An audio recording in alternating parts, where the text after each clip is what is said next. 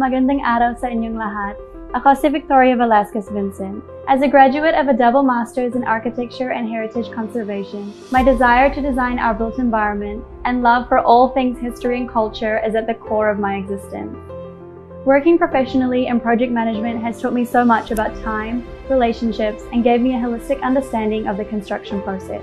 I'm a self-proclaimed water and jungle baby, which means at any spare moment you'll find me chasing turtles in the underwater world or chasing adventure elsewhere in nature.